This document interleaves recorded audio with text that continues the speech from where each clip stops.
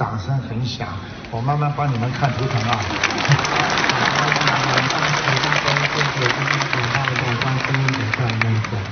感恩老感恩大慈大悲卢军宏师傅，我想帮我妈妈看她的身体部位，她是一九七五年属兔的。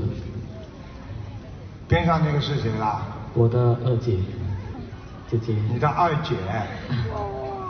我还以为你妈的这么年轻。你妈妈。你妈妈几几年属什么的？一九七五年属兔的。一九七五年属兔的。看她什么？她的身体。颈椎不好。对对对。你要当心啊！你妈妈血管有堵塞啊，手经常发麻。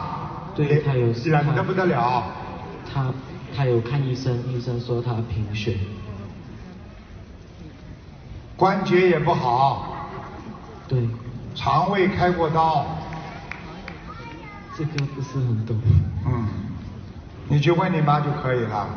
好的。左腹非常不好，经常胃痛。啊，对对对。我看见了，你妈妈身上有一个男的，个子不高，头小小的。嗯我不知道是谁啊。就是一个灵性啊！啊哈，可以。有两种可能啊。我看看啊，啊，你妈好像掉过孩子，像个孩子。对。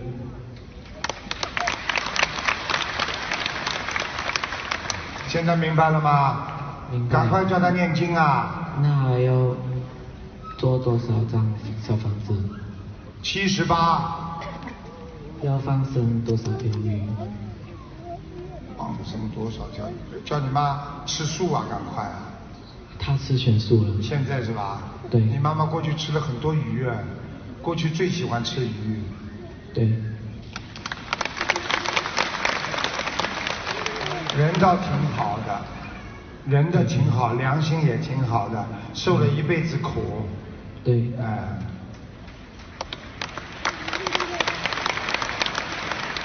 你还想问什么？我还想问一下我家的佛台。你是家里的主人是谁啊？算你了。呃，不是我，是哥哥是。几几年属什么的？九五年属猪的。家里的佛台是吧？对。啊，进门的右手边。对。靠窗户这里。嗯嗯。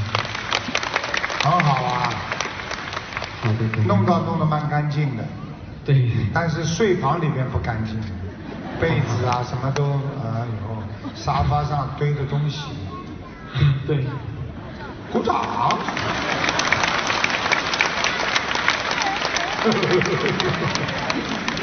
听懂了吗？听懂了。好啦，你这样吧，那个。佛台的对面呐，有一个房间，好像有点像卫生间，气场不是太干净。